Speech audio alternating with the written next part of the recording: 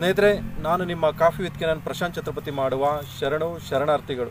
ಸ್ನೇಹಿತರೆ, ಇವತ್ತು ನಾನು ಚಿಕ್ಕಮಗಳೂರು ಜಿಲ್ಲೆಯ ಕಡೂರು ತಾಲೂಕಿನ ಸಕರಾಯಪಟ್ಟಣದ ಹೋಬಳಿಗೆ ಬಂದಿದ್ದೀನಿ. ಸ್ನೇಹಿತರೆ, ಏನು ವಿಶೇಷತೆ ಅಂತೀರಾ? ಇಲ್ಲಿ ಶಕುನ ರಂಗನಾಥ ಸ್ವಾಮಿಯ ದೇವಸ್ಥಾನದ ಪಕ್ಕದಲ್ಲೇ ಒಂದು ಬತೇರಿ ಇದೆ.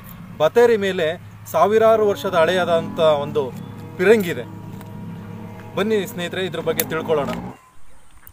ಸ್ನೇಹಿತರೆ ನಾನು ಇವತ್ತು ಸಕರಾಯಪಟ್ಟಣದ ಶಕುನ ರಂಗನಾಥ ಸ್ವಾಮಿಯ ಪಕ್ಕದಲ್ಲೇ ಇರುವಂತಹ ಕೋಟೆಯ ಮೇಲೆ ಹೋಗ್ತಾ ಇದ್ದೀನಿ. ಬನ್ನಿ ಸ್ನೇಹಿತರೆ, ವಿಶೇಷ ಹಾಗೂ ಕುತೂಹಲಕಾರಿಯಾದ ಒಂದು ಪಿರಂಗಿ ಇದೆ. ನಿಮಗೂ ಸಹ ಆ ಪಿರಂಗಿಯನ್ನು ತೋರಿಸ್ತೀನಿ.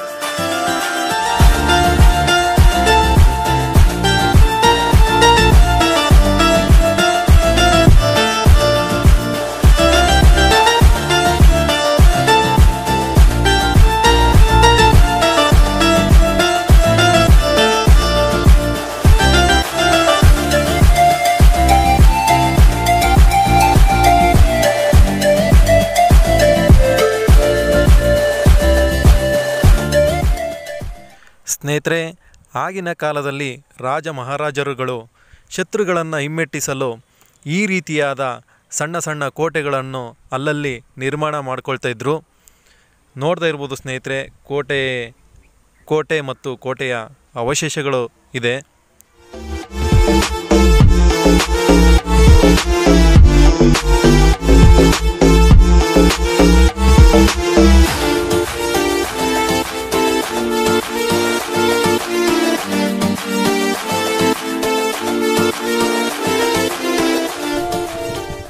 ಸುಮಾರು ಮೂವತ್ತರಿಂದ ಮೂವತ್ತೈದು ಮೆಟ್ಟಿಲುಗಳನ್ನು ನೀವು ಹತ್ತಿ ಬಂದರೆ ಒಂದು ಅದ್ಭುತವಾದ ಸೌಂದರ್ಯವನ್ನು ಸವಿಯಬಹುದು.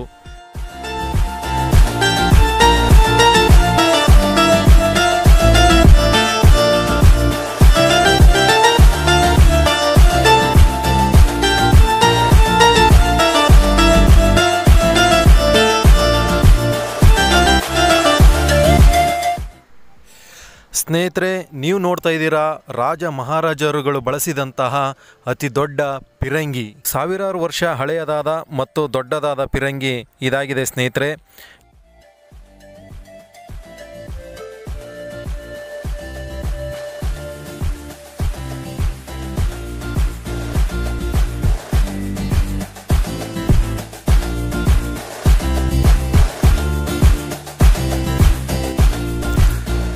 ಕ್ರಿಸ್ತ ಶಕ ಸಾವಿರದ ಆರುನೂರ ನಲವತ್ತ್ನಾಲ್ಕರಲ್ಲಿ ಈ ಪಟ್ಟಣವನ್ನು ಶಿವಪ್ಪ ನಾಯಕನು ವಶಪಡಿಸ್ಕೊಳ್ತಾನೆ ಸ್ನೇಹಿತರೆ.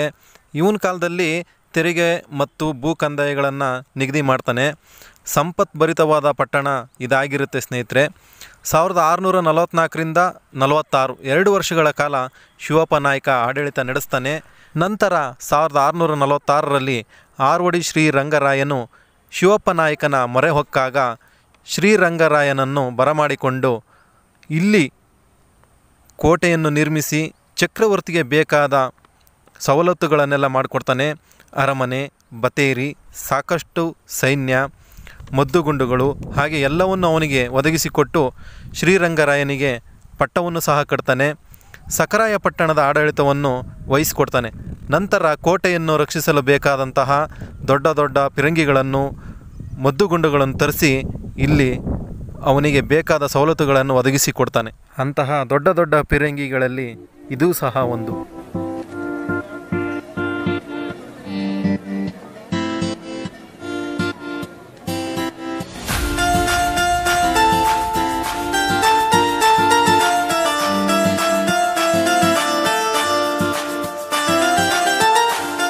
ಸ್ನೇಹಿತರೆ, ಇಲ್ಲಿ ನೋಡ್ತಾ ಇರ್ಬೋದು ನೀವು ಶ್ರೀ ಶಕುನ ರಂಗನಾಥ ಸ್ವಾಮಿಯ ದೇವಸ್ಥಾನದ ಗೋಪುರ ನಿಮಗೆ ಇಲ್ಲಿಂದ ಕಾಣಿಸುತ್ತೆ. ತುಂಬಾ ಅದ್ಭುತವಾಗಿದೆ. ಇಲ್ಲಿ ನಿಂತು ನೋಡಿದರೆ ಇಡೀ ಸಕರಾಯ ಪಟ್ಟಣದ ಸೌಂದರ್ಯವನ್ನು ನೀವು ಕಣ್ತುಂಬಿಕೊಳ್ಳಬಹುದು.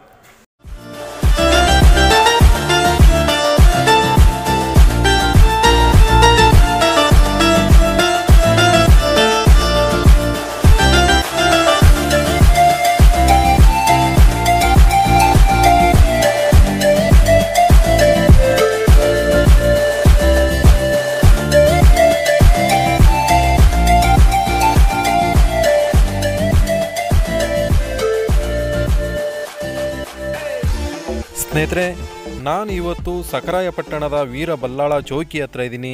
ಈ ವೀರಬಲ್ಲಾಳ ಚೌಕಿ ಶಕುನ ರಂಗನಾಥ ಸ್ವಾಮಿ ದೇವಾಲಯಕ್ಕೆ ಹೋಗೋ ದಾರಿಯಲ್ಲಿ ಸಿಗುತ್ತೆ. ಹಳೆ ಬಸ್ ಸ್ಟಾಪ್ ಎದುರುಗಡೆನೇ ನಿಮಗೆ ಈ ಚೌಕಿ ಕಾಣಿಸುತ್ತೆ ಸ್ನೇಹಿತರೆ.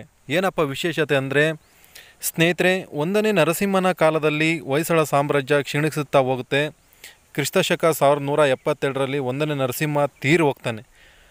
ತದನಂತರ ಅವನ ಮಗ ಎರಡನೇ ಬಲ್ಲಾಳ ಕ್ರಿಸ್ತಶಕ ಸಾವಿರದ ನೂರ ಎಪ್ಪತ್ತ್ಮೂರರಿಂದ ಸಾವಿರದ ಇನ್ನೂರ ಇಪ್ಪತ್ತರವರೆಗೆ ರಾಜ್ಯವನ್ನಾಳ್ತಾನೆ ಈತನ ಆಳ್ವಿಕೆಗೆ ಈ ಸಕ್ರಪಟ್ಟಣನೂ ಸೇರಿರುತ್ತೆ.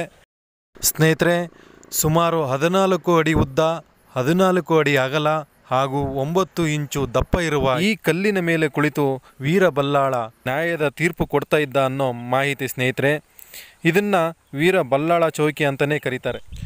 ಸ್ನೇಹಿತರೆ, ವಿಡಿಯೋ ಇಷ್ಟ ಆಗಿದ್ರೆ ಸಬ್ಸ್ಕ್ರೈಬ್ ಆಗಿ, ಶೇರ್ ಮಾಡಿ, ಹಾಗೆ ಒಂದು ಲೈಕ್ ಕೊಡಿ. ಮತ್ತೊಂದು ವಿಶೇಷವಾದ ಮಾಹಿತಿಯೊಂದಿಗೆ ಮತ್ತೆ ಬರ್ತೀನಿ. ಅಲ್ಲಿವರೆಗೂ ನಮಸ್ತೆ.